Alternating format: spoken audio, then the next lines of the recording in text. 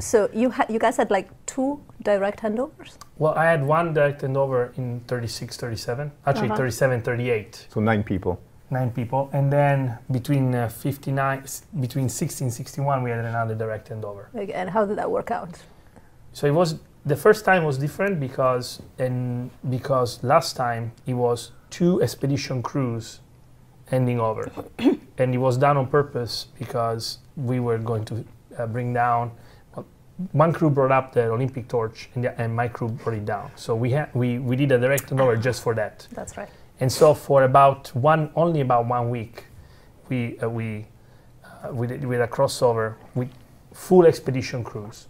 So everybody was fully trained, and the only the only difference was that uh, those guys, the guys that were coming in, that just had to wait somewhere around the station f- until we left our crew quarters.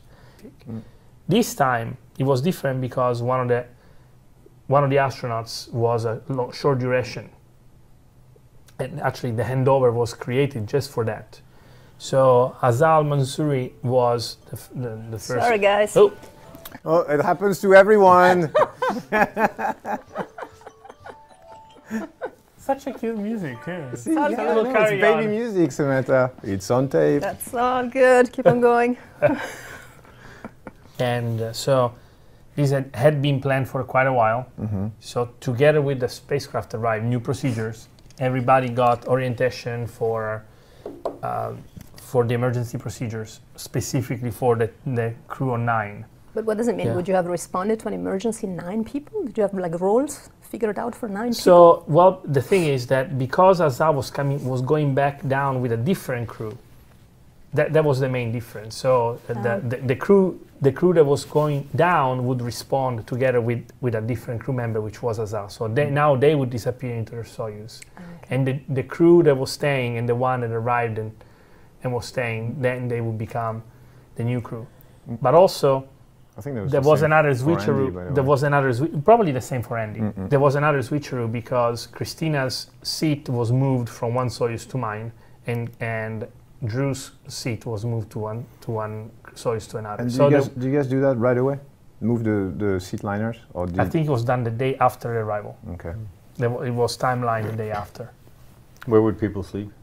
It's a good question. So- I was gonna ask. So we had to come up with, with a way that was that made sense because right afterward, they had planned the arrival of Sig- of Dragon SpaceX or uh, HTV, one of the one of the I think it must have been HTV was arriving right right after that, and EVAs.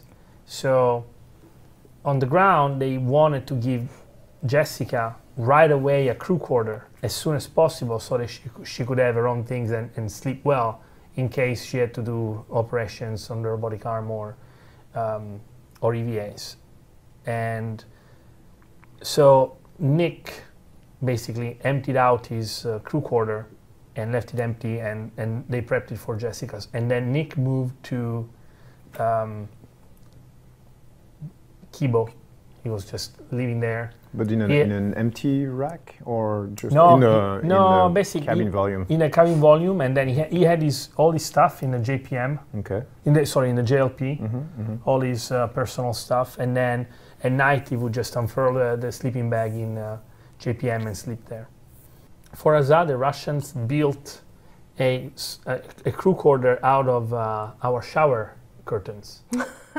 What do you mean out of the The, shower? the blue Yeah. ones? The Did they blue actually ones? move no, the Oh, white no, one, the- the new white oh, ones. the new white new ones, white okay. washable ones. They they grabbed some some extra ones? Or? Some extra ones, Oh, okay. yeah. They grabbed some extra ones. They they put them all together Interesting. and made made a little cubicle for. In which for And us. where? Where? In which, Yeah. in which I think he must have been in Mim, uh, Mim two. Uh, Okay. Yeah. Oh no, he was in he was in Eswadin because that's the one without the spacecraft. Okay. So he was in Eswadin.